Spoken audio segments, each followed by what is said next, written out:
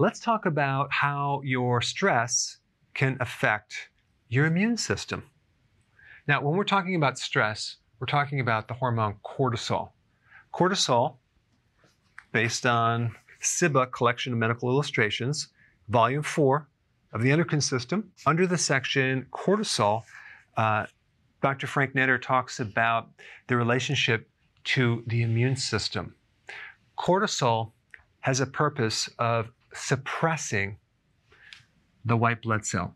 Your white blood cells are basically the army of your immune system.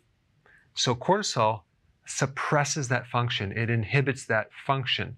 And this is why, if you go to the doctor and you're sick, whether you have, I don't know, allergies, some skin reaction, some autoimmune disease, they'll give you prednisone, which is cortisol, it's a synthetic version, and that will clear up the skin reaction, the allergy, or even the poison ivy.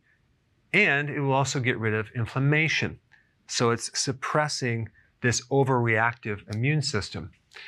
That's what cortisol does. And stress activates cortisol. Now, if you think about that, stress should improve your immune system, right? I'm going to explain. There's two types of stress. There's acute stress and then there's chronic stress. And this is the one that really is behind so many health problems because when you chronically elevate cortisol through years of stress or months of stress or even a sudden overwhelming shock of some stress, you could create what's called cortisol resistance, okay?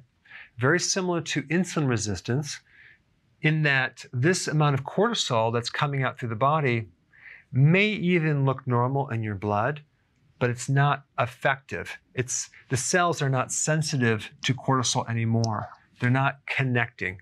So cortisol is not working despite what's going on in the blood.